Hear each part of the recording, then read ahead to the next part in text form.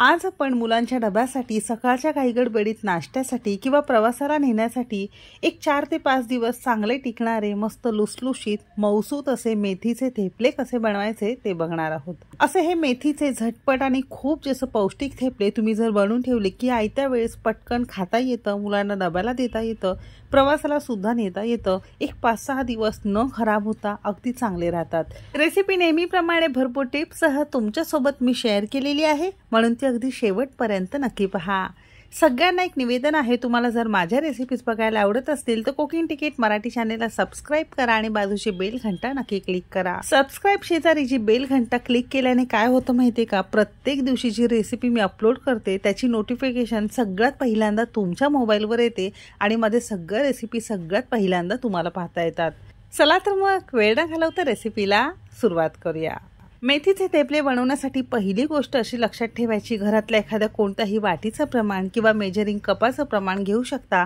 किंवा पहिल्यांदा जर बनवत असाल किंवा तुम्ही बॅचलर असाल तर न चुकता तुम्हाला मेथीचे थेपले परफेक्ट तयार करता येतील.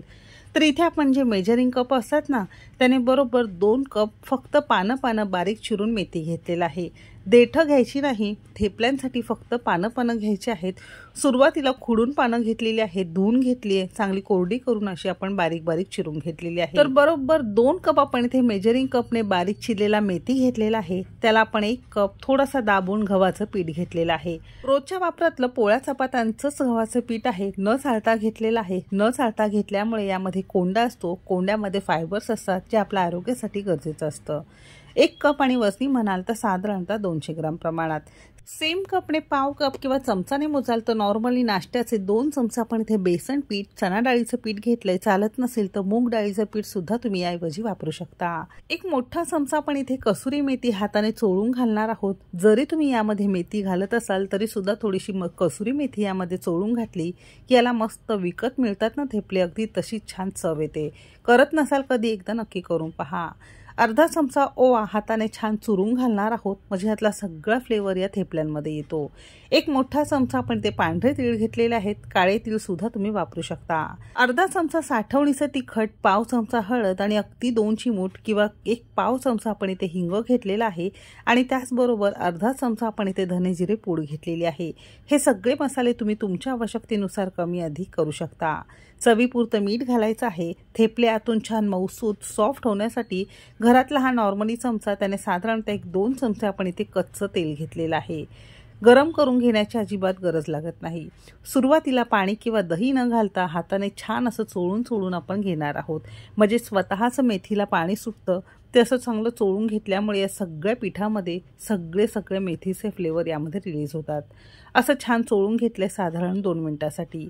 आता या पिठाला आपल्याला मळून घ्यायचं आहे पीठ मळण्यासाठी एक तर तुम्ही पाणी वापरू शकता किंवा तुम्ही दही वापरू शकता. दही वापरल्यामुळे थोडेसे सॉफ्ट आणि छान चवीचे तुमचे हे थेपले तयार होतात. तर सारख्याच कपने इथे आपण साधारणतः पाव कप आणि वजनी म्हणाल तर एक दीडशे ग्राम प्रमाणात आपण इथे दही घेतलेलं आहे. दही खूप जास्त आंबट नसावं आणि ते ताजं असावं. साधारणतः एक सात ते आठ दिवस जर तुम्हाला हे थेपले टिकून ठेवायचे असतील तर दही न वापरता फक्त पाण्यामध्ये तुम्हाला हे पीठ मळून घ्यायचं आहे. मी एक दोन दिवसात हे संपवणार आहे म्हणून मी इथे शक्यतो दही वापरलेला आहे. एक दोन ते तीन चमचे दही वापरलंय. गरजेपुरतं थोडं थोडं दह्याच्याच कपामध्ये पाणी घेतलंय आणि हे पाणी घालून आपण हे पीठ मळून घेणार आहोत. पिठामध्ये आलं लसूण पेस्ट घालण्याचं राहून गेलं म्हणून मी इथे अर्धा चमचा आलं लसूण पेस्ट पीठ मळताना घालणार आहे. तुम्ही असं अजिबात करू नका. जेव्हा तुम्ही बाकीचे सगळे मसाले घालताना त्यावेळेस तुम्हाला यामध्ये आलं लसूण पेस्ट घालायची आहे. माझी पिठामध्ये घालायचं राहून गेलं म्हणून मी पीठ मळताना यामध्ये अर्धा चमचा आलं लसूण पेस्ट घातलेली आहे.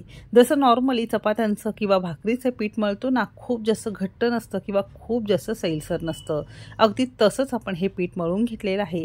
इतकं पीठ मळण्यासाठी पाव कप दही आणि साधारणतः दोन चमचे आपण इथे साधं पाणी वापरलेलं आहे. पीठ संपूर्ण सॉफ्ट मळून झाल्यानंतर अर्धा चमचा साधं तेल घालून पुन्हा पीठ छान गुळगुळीत आपण करून घेतलंय.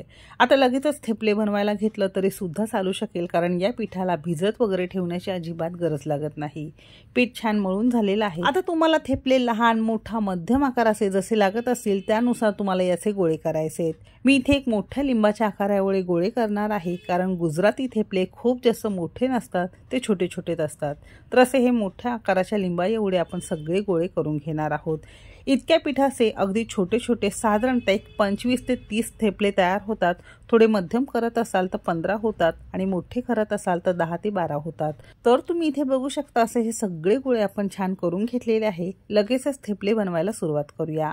थोडंसं गव्हाचं पीठ लागणार आहे कारण यामध्ये बेसन पीठ वापरल्यामुळे लाटताना ते तळाला चिकटतं. त्यासाठी गव्हाच्या पिठात चांगला गोळा घोळवून घ्यायचा आहे. हातावर छान पारी करून घ्यायची आहे. आणि हे आपल्याला सिम्पली आता लाटून घ्यायचं आहे. मेथीचे थेपले लाटताना खूप जास्त जाड लाटायचं नाही. जमेल तितकं छान पातळसर आपल्याला लाटून घ्यायचं आहे. लाटताना असं वाटत असेल थोडं चिकटतंय तर थोडंसं गव्हाचं पीठ तुम्ही भुरभुरू शकता पण अगदी पातळच छान आपल्याला लाटून घ्यायचं आहे. तर तुम्ही इथे बघू शकता असं हे छान पातळ आपण लाटून घेतलंय.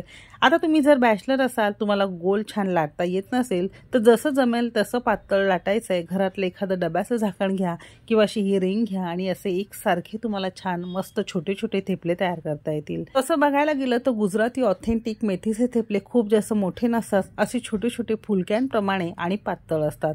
असं जरी केलं तरी सुद्धा चालू शकेल. म्हणजे सगळे एका आकाराचे एक सारखे तुम्हाला हे करता येतील. तर असे एकत्र आपण सगळे लाटून ठेवले तरी सुद्धा चालू शकेल. सगळं असं एकत्र ताटावर लाटून ठेवलं की भाजणं अगदी सोयीस्कर आणि पटापट होतं. थेपले भाजण्यासाठी इथे आपण एक तवा गरम करून घेतलेला आहे. तवा जसा चपाती पोळ्यांसाठी गरम करतो अगदी तसाच नॉर्मल गरम करायचा आहे. मोठ्या असेवर एक थेपला आपण यावर घातलेला आहे. थोडीशी वरची बाजू सुकली की बाजू आपण उलथून घेणार आहोत. आणि दुसऱ्या बाजूला आवडीनुसार तेल लावा किंवा तूप लावू शकता. मी एकाच बाजूला इथे थोडंसं तेल लावलेलं आहे. तुम्ही दोन्ही बाजूला लावू शकता. आणि असं हे छान दाबून दाबून एक तर उलथानाने किंवा कापडाने थोडासा जोर लावत लावत सगळीकडून मस्त तुम्हाला हा थेपला भाजून घ्यायचा आहे. आणि गॅस तुम्ही तुमच्या आवश्यकतेनुसार कमी अधिक करू शकता. दोन्ही बाजूने साधारणतः एक दोन अडीच मिनटं मस्त खरपूस हलक्याशा बदामी रंगावर आपण छान थेपला भाजून घेतलेला आहे. तुम्ही इथे बघू शकता. थेपले भाजून असं एखाद्या जाळीवर किंवा टोपल्यामध्ये काढून घ्यायचे सेम पद्धतीने आपण सगळे थेपले भाजून घेणार आहोत. आता सेम पिठाच्या जर तुम्हाला पुऱ्या करायच्या असतील तर पीठ थोडंसं घट्ट मळायचं आहे. आणि जशी आपण चपाती लाटतो ना त्यापेक्षा थोडीशी जाड आपल्याला लाटून घ्यायची आहे. डब्याच्या झाकणाने एकसारखे गोल गोल पुऱ्या काढून आपण ते तळूनसुद्धा खाऊ शकतो.